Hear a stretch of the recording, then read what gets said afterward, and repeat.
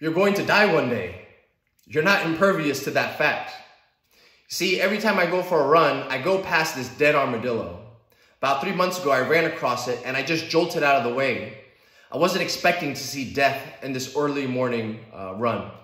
So throughout the past couple months, I've been seeing different animals, different insects eat at it to a point where now it's just a shell. And that's what we're all gonna be at some point in our life. We're just gonna be a shell, a memory, a remnant of who we were, of what kind of drive, what kind of passion, what kind of energy that we had in this life. You see, that time is coming. And for a lot of us, we have this commitment issue of committing to a certain goal, a certain task, because we're going to have the time to eventually do it. Or it's going to be too far. You see, time doesn't really matter. All you have is this present moment. And what does matter is the fact that you're overthinking whatever it is that needs to be done at hand. All you have to do is take the current steps right now to become better than you were yesterday, better than you were the moment before. Because if you don't take that next step right now, you go into the state of being fearful, anxious, you start to have doubts, you start to overthink. What is it going to take to get to that particular place? How difficult is it going to be to get that? Nothing in life is guaranteed except that your death is coming. And when you begin to fully realize and live with that, you start to have a sense of urgency, a sense of passion, a sense of purpose to enjoy whatever it is that's at hand and whatever it is that you are doing, you better find a way to enjoy it.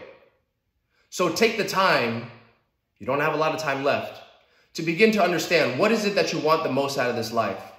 Because what you will be is just a shell, a remnant, a memory to the people that are around you. You're going to be an example. So what kind of example are you going to be? What kind of life are you going to lead?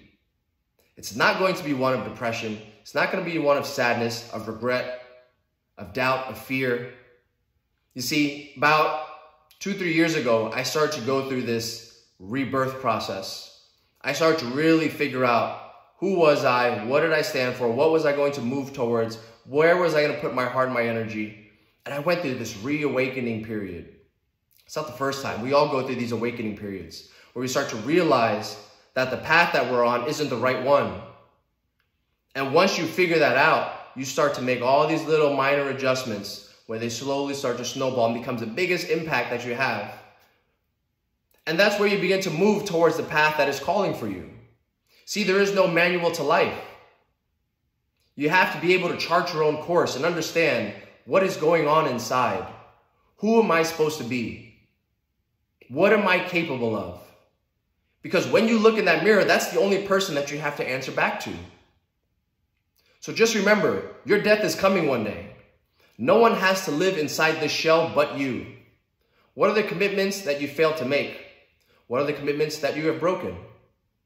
Where are you not putting your time and energy? And how are you not living your best life?